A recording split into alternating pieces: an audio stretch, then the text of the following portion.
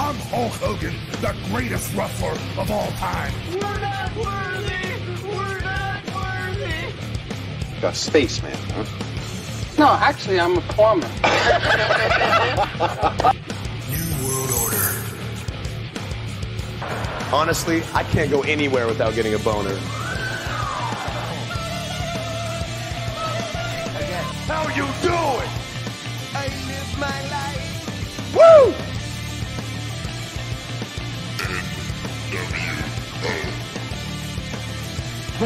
Says, Sweet baby Jesus in the office. Hi everyone, welcome to Wrestle Rock Podcast. I'm your host Nostrada Ben, and I will host this episode with my childhood friend Johnny D. Hey, how's you going, my friend, today? Yeah, fine. Yeah, it's always a pleasure uh, for being here with you for another episode. Another episode. Yes, Fourth uh, season. Yes, the fourth season started with uh with uh, Tatanka, uh, Hugo Girard. Hugo Girard. Uh, we, re- uh, we will uh, receive uh, Tony Atlas, but now we would like to discuss with an, an impersonator of uh, super fans of um, the Yeah. Rhodes family. I'm talking about uh, Mike Raimondi. As you going today, my friend? Baby, I'm just, uh, you know, I'm just a common man. I, I heard a lot of those names that uh, you bring in, and I'm, I'm in a lot of good company. You know, Tony Atlas, and uh, that's a, that's an honor and a privilege to be here. You know, just for a, a common man myself, if you know what I'm saying. nice. And we're recording now. you know what I mean? So We're on the mo- we're on the mothership, baby. We had to start exactly at 6:05. You know what I'm saying? 6:05 on the mothership. So uh, go ahead. So we would like to know uh, something uh, interesting stories about you because um, we know that you are super fans, but and you are also a wrestling fan. So we would like to know why are you a wrestling fans, my friend? Well, uh, you know, goes back a long time, baby. I've been around a long time. I'm I'm 42 years old now, and uh, I'm going to, uh, you know, go in and out of Dusty as uh, as it pertains. Well, um, uh, the the first memory of wrestling I remember is uh, my dad brought me to watch uh, WrestleMania 2, Hogan versus King Kong Bundy. Um, I didn't go see it live, but I saw it in the theater at Madison Square Garden, and that time they played it on closed caption. Mhm. So, um, you know, it was in the theater and the big screen, and all the matches were on, and I had my Hulk Hogan and King Kong Bundy figure, and I just kept beating them and bashing them together the whole night. And um, after that, I was um, I was totally hooked. Um, my family, my other family, had kind of stopped watching wrestling after Bruno Sammartino Yeah. retired. Uh, you know, he was the he was the favorite for most of the, especially living in Brooklyn, the Italian American community. I mean, he was he was it. Mhm. Um, and um, I got hooked right away. I literally got hooked at the very beginning of Hulkamania. Nice. Okay, uh, many many uh, people uh, likes sports uh, in the world, around the world, such as hockey, baseball, football. But you, Mr. Raimondi, uh, what kind of sport do you like other than pro wrestling? I like all the other four major sports. Uh, growing up, I played a little bit of everything: baseball, hockey, football, basketball. Um, in 1994, living in New York when the Rangers had won the cup, um, hockey Yeah, got hockey got really big. I mean, every kid, every kid in- in the street was playing roller hockey in 1994. All the three local teams were good. The Islanders, the Devils, and the Rangers were very good at that time. And uh, I really, really fell in love with with hockey. As I see you're wearing that throwback Chicago Blackhawk shirt. Yeah. Uh, Yeah. Interesting fact, baby. Mr. Denis Savard. yes. Denny Savard, uh, the American Dream was, uh, you know, right before I started wrestling, you know, the Miami Dolphins called me for a tryout, and I said, I hung up the phone. I said, I got to chase my American dream and, you know, become, you know, go do this wrestling stuff. I, my football days are over, baby, if you will. Awesome. You have the same voice, man. That's awesome. ah, this is so entertaining. Mr. Savard is from Mr. Savard is from Get Gatineau. Yeah. Yeah, uh, two hours from Montreal. Ah, Yes, and uh, about sports, we'd like to know: uh, Did you practice uh, wrestling uh, inside a square circle, or? Uh, unfortunately, no. Um, I wrestled for my high school for Mhm. two weeks, Okay. and um, I kind of wasn't a fan of it because I tried to put the my opponent in a, a suplex or a DDT, and uh, the coach was like, "I don't know what you think you're doing here. Uh, this is not what you think."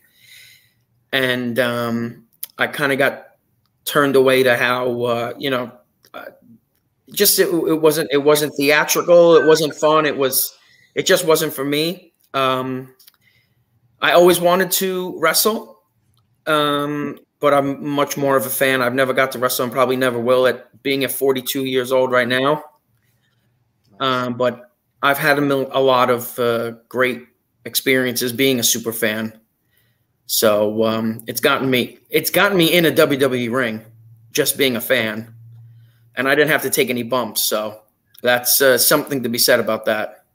Yeah, because uh, wrestling training is very hard, if you know what I mean. So Mm. yeah. Go Okay, ahead, my friend. personally, uh, my favorite wrestler was uh, Bret the Hitman Hart, and I loved him for his charisma, his technical. Uh, uh, but you, uh, you your uh, your idol is Dusty Road. Uh, what captivates you about Dusty Road? Well, baby, he's just a little plumber son from Austin, Texas. You know what I'm saying? Well, b- believe it or not, I never, I didn't see Dusty until he came to WWF at the time in, in 1989, the Polka Dots. Um, living in New York, Jim Crockett Promotions and any of that was never on TV.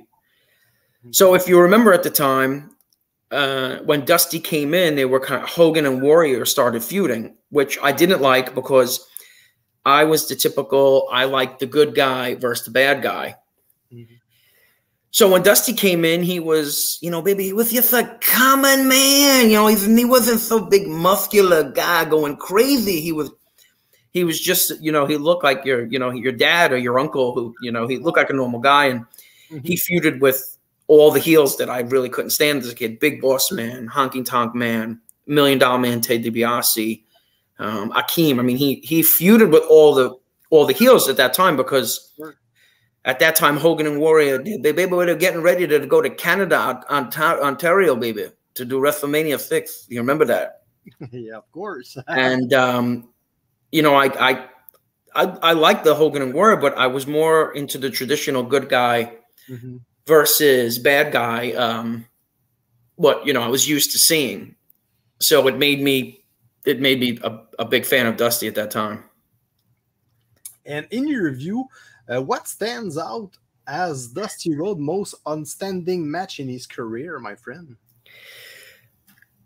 Baby, be against you know the Four Horsemen and Ric Flair. You know, some people say it's the War Games, baby. It's that you know that the WCW.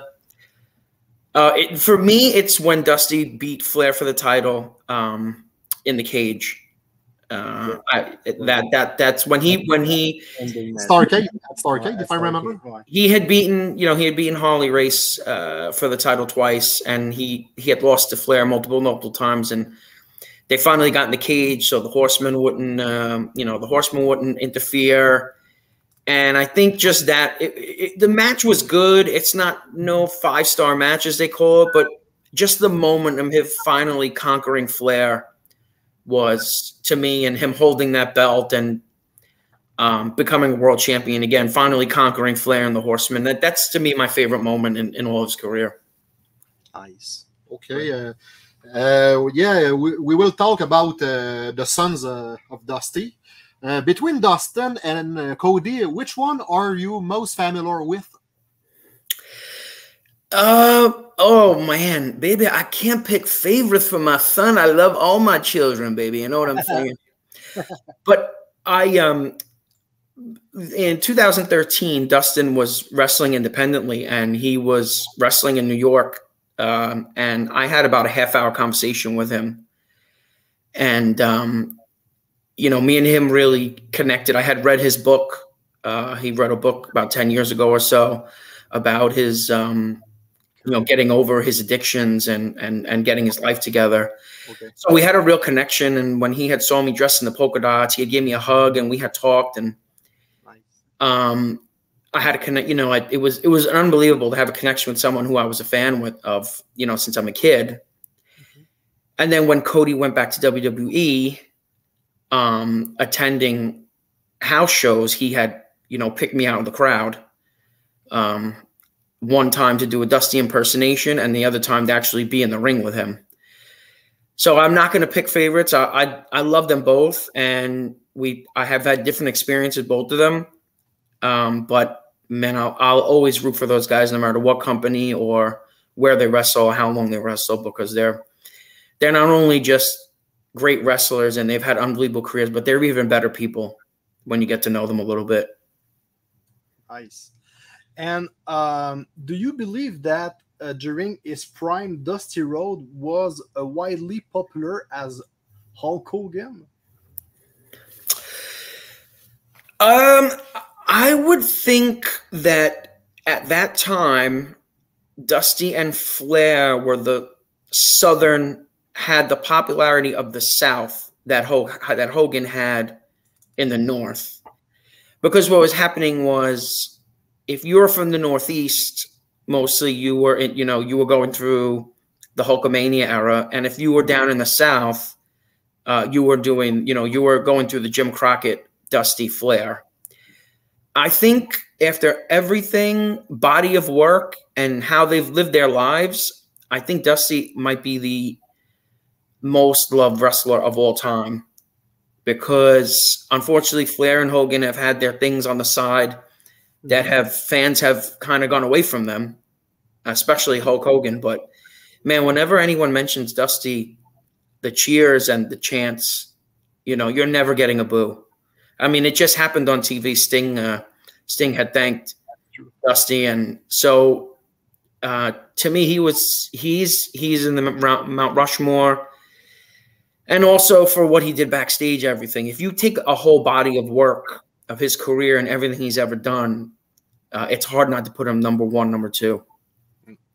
Really, really. Okay. Yeah. Okay. Glenn? yeah. WrestleMania is the biggest show of all time, like Super Bowl. Uh, we would like to hear you about uh, uh, Goldust versus Roddy Piper in a street fight match at WrestleMania 12 in Anaheim, California. Yes, baby. You know, I like everything about the match except, you know, my, my son ended up in the, at the end. He's got underwears on. You know what I'm saying? And everybody sees every, everything going on. But, uh, you know, I didn't, you know, Roddy Roddy Piper is the legend. And, uh, you know, it's, you know, running him over with the Cadillac, you know, baby, live with that Cadillac. That was so dangerous. I don't know if you uh, reviewed a couples of comments about that, but uh, I saw that Roddy Piper hurt for real uh, Goldust during this match, man. That was just outstanding, if you know what I mean. Because I remember one thing, and if you check uh, the fight, um, one one moment during the fight, Roddy Piper give a real, uh, A real punch? punch, Mm. on the head of uh, Goldust, and he broke his own uh, hands. You know, and you can listen the crack during the the impact was just a man. That was a fantastic, uh, entertaining moment for the wrestling industry. You know. Yeah, it, it was. I mean, Goldust was very different. So for him to have a very different kind of match Really. uh, at the time was, you know, it was it, it was big, and to, to anyone who wrestles Roddy Piper at WrestleMania, it's a it's a career defining moment. And uh, I think I did a lot for him, um, and it's it's one of the classic matches ever. And I remember uh, reading or watching some kind of podcast of how both of them have gotten hurt. I think Roddy punching the car too, and just a whole bunch of stuff didn't go as planned because it, it was hard to practice that match because it's you know how you going to practice get running over by a car and jumping on a car it's not easy but um, i thought it was really good and it it you know it brought the goldust character to a higher level when whenever you're you know you're wrestling roddy piper at wrestlemania originally i don't know if you guys knew that was supposed to be razor ramon scott Yeah. hall but he didn't um but he left for WCW. Yeah, he had left, and I don't think he felt comfortable doing all the kind of Goldust stuff. And um, I think Piper, I mean Vince, Vince tapped you know Roddy on the shoulder and said, you know, Roddy, it's time you know to get in there and uh, make make some history, if you will, uh, with uh, with my son Dustin. And uh, that that's how it happened, but uh, it worked out because uh, it's a great, it's a classic, all time classic match. It's probably never been done before, really, as well as it was back then. And unfortunately, uh, Dusty Road passed away in 2015. So, what is your reaction when you learn this uh, this thing? You know. Oh man, when Dusty passed, I was heartbroken. Um, I had met him two years before he passed. Okay. At a convention. Oh, okay. And I was wearing the polka dots, and um, I walk in, everyone starts giggling, and he's he's looking down, signing everything. And as I walk in the room, everyone's starting to make noise. And he looks up at me, and he looks up and he's like, "Oh, this guy's got to go to the back of the line, baby. Put him to the back of the line, dressed like that." and he said, "No, no, he's okay. You know, let him come in. Let him come in." and I, you know, I get to him and I reach my hand out to handshake, and he grabs me in for a big hug. Nice. And uh, you know, he was so friendly and laughing. And Such a I said, I said, Dusty, you know, uh, I've been going to the events dressed like this. I went to WrestleMania. You know, people taking pictures. You know, the fans seem to love it. What What do you think? Should I should I keep it going? You know, should I keep doing it? He's like, baby, I love it. You have to keep it going, baby. You have to. He's like, you got to keep it going. So that was 2013. So I haven't been to a wrestling event not dressed as any form of Dusty in over 10 years Okay. since I had met him. And then when he had passed, it kind of felt different because at that time, Cody was going through problems with WWE and, uh, you know, it felt a little different putting it on after he had passed away because I wasn't sure if it was respectful or if it was the right thing to do. But I seem it, it was all out of love, and I think a lot of people felt that it was out of love to honor him, and and I, the response was was even better. You know that I was honoring him after he had passed, so I just felt like, hey, it's it's you know he had gave me the blessing to do it, and the fans love it, and it, it so I I just kept going. All right. Okay, Mr. Raimondi, uh, we'd like to hear your thoughts. Uh, excuse me. We'd like to hear your thoughts on the Rhodes Wrestling Academy and the Nightmare Factory. Baby, it's like going to school, baby. You take your pencils and your pens and your apple and you shine it up and you give it to the teacher, baby. You know what I'm saying? Uh, I think it's very smart that they, Cody and Dustin, have already kind of planned out what they want to do after their in ring careers are done. Um, and I think that if they're teaching these schools, their students will always get a piece of what they taught them. And doing that, they're going to get a little piece of Dusty. So it kind of, it just is continuing that Rhodes, you know, what they're doing in this industry and what they've done. Um, and uh, I think it's smart. I think both of them, I think um, both of them are, are, you know, they've been through a lot. Dustin's been wrestling for I don't know 30 years, and then Cody's wasn't an EVP, did the independent. I mean, there's nothing that these two haven't done. So if you're going to learn from people, I don't think there's two better people to learn from than them two. It's in their blood, baby. The roads are blood.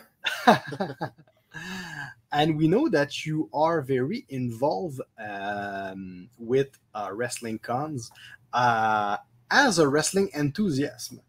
Uh, how many wrestling cons did you uh, typically attend per year? Baby, I love to go to them all, baby, but I got that thing called work and bills and family and, and responsibility, if you will. Yeah. But um, I uh, I always try and go to the local ones in New York and New Jersey. Uh, there's some ones I I well, like we, we talk about 80s wrestling con. Unfortunately, 90s wrestling con I didn't get because I was sick. I didn't get to go, but I would have been there. Um, there's uh, the big event in New York, so I, I, I try and go to as many as I can. Um, there are so many of them here now. I mean, it's almost every weekend. It's it- Yeah.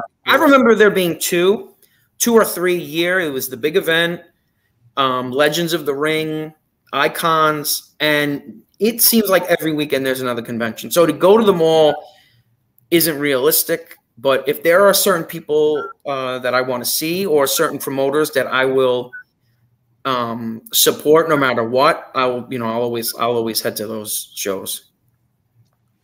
Okay, Nice. uh, okay, Mike. Uh, what was your uh, reaction when Cody Rhodes won the 2023 Royal Rumble uh, last January? Baby, I was happy for him, baby, but I had a feeling I said something is not right. Um I when he came out number 30, I was glad he won, but something told me this is too easy. This is I'm not sure if this is the route that he's going to win at WrestleMania coming in the last, not wrestling for 6 months, coming back from the injury the ending with with you know Gunther was great, but when he came out number thirty, something in the back of my mind was like, I I don't think this is enough of a struggle for him to to get to the mountaintop yet. I just had that feeling and uh, that gut feeling. But um, I mean, it was awesome to see him come back. Unfortunately, with that injury, uh, and I don't think he lost any steam when he came back. I think he's gained momentum since he's been back uh, even since WrestleMania after losing to Roman. So uh, winning the Rumble is always something. It's always a feather in your cap, you know. And do you think uh, one day uh, Cody uh, could win the Roman Reigns titles, or what? What is your feeling about that? If I were, baby, if I was the booker, you know what I'm saying? If I was writing this stuff like I did in the WCW, uh, to me, Cody wins the Rumble at number one or number two this year. He comes in number one, number two. I think he has to come in number one or two because it's important that his theme has become so important to his whole character. And I think they his they need to like sing his theme song and he needs to have his entrance and he needs to he needs to have it hard. You know, hard times, daddy. He needs to go through those hard times, daddy. and I think um yeah, I think I think before it's all said and done, you might see the bloodline actually come back together, and he will have to, much like Dusty had to beat the Horsemen uh, and Flair. He he will finally conquer the bloodline and Roman Reigns at WrestleMania 40. I'd be very very surprised if he doesn't. Um, that that's my prediction for for the next. Uh, before you know it, I mean Royal Rumble's only two months away. And about uh, prediction, as usual, for closing our episode, my partner Benoit, aka uh, Nostradamus Ben, it's all about the French prophet. He tried to predict the future of our guests, and it better be a good one, or you will receive an, Bionic elbow? an- a bionic elbow, my friend. Okay. First of all, thank you so much for the interview. Oh, no. No, not the- Baby, what was that? Who was this supposed to be, baby? That I don't sound like that, do I, baby? yeah, that's a little. That's a, like the the Canadian dream, if you will. Oh, the Canadian Dream. Yeah, that's a good idea. Uh, okay, uh, thank you so much, uh, Mike, for the interview. Uh, it was very appreciated. My prediction is uh, you will play Dusty Rhodes in a biography or biopic or documentary. baby, from your mouth to God's ears, baby. I uh the phone is on. Uh I'm down for anything. I'm if it involves doing Dusty, I'm down for anything. I'm I'm uh it would be an honor to be it's been an honor to be a part of anything to do with the Rhodes family and Dusty. Uh because you got to remember, I'm I'm just baby, I'm just a common man, baby. I'm just a I'm just a fan who buys a ticket and great things happen. None of none of this was ever planned that ever had happened at the shows or the conventions. And I think this that makes it even a better story that just a fan like me who is a passionate fan who, you know, puts on all this dusty stuff and you know, baby, look at this now. I got my own cowbell, if you will, baby. I got my own. This is this is my insurance policy for WrestleMania in case you know someone jumps in this year. This is what they're getting.